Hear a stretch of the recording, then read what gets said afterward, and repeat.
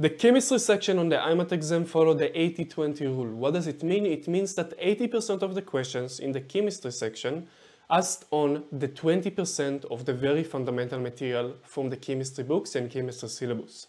It means things like solutions, stoichiometry, gas laws, very very basic things you study in the first week or so during your preparation are going to be asked on the IMAT exam. So how do you prepare for the chemistry section?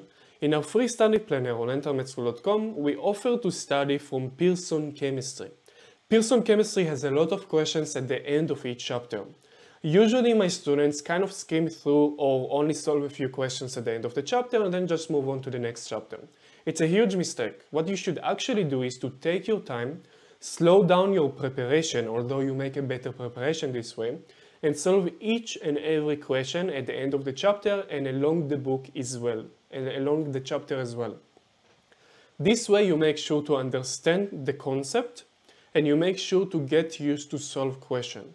It's very, very important. So don't skip questions when you study chemistry. Make sure to solve all of them and take your time. It's better than rushing through the entire syllabus.